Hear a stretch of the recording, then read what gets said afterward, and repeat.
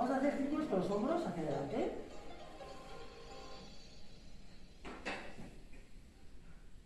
Lentos y amplios.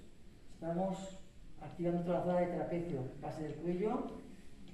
¿Eh? Cuando lo tenemos cargado, estos movimientos hacemos que fluya más la sangre, que oxigene más el músculo y se alivia.